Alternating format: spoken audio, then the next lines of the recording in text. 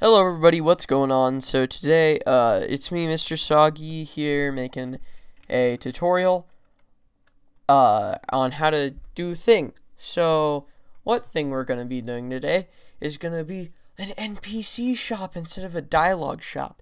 Because you see them everywhere, but you never see tutorials for an NPC shop, which is what I'm gonna be doing today. So let's just jump into it. So what you want to do is you want to go to the starter GUI. You want to get a starter a screen GUI. Want to get a frame. Um, I'm just gonna customize this to like however I want. Then we're just gonna do a text button. Actually, we're not even gonna have that. We're just gonna have a text box, and that text box is gonna say shop.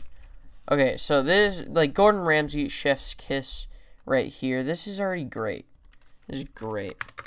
So how you want to open this bad boy is uh, what you want to do is first you go into the frame and you want to go into visible and check that off so it's off your screen.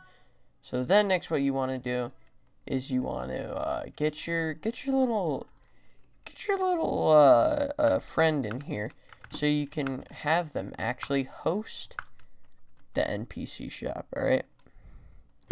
Alright, and name him, like, whatever you want.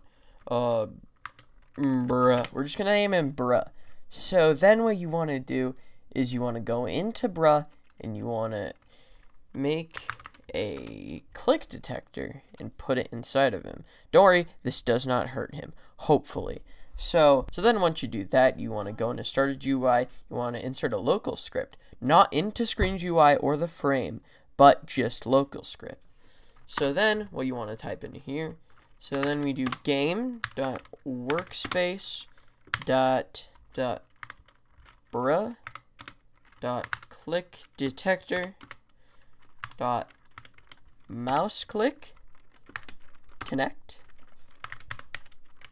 function, and then you do this. You do this weird little freaking parenthesis, uh, parenthesis thing. Then you do script dot parent dot screen GUI or whatever your screen GUI here is named.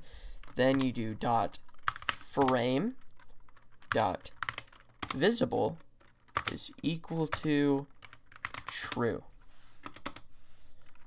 Alright, so then if we play here, then you can see if we click on bruh, the shop will open. So, uh, yep. That took me so long to figure out, and I had no tutorials, so I'm just going to upload this for all of you beautiful people, and uh, that's going to be it. So, bye.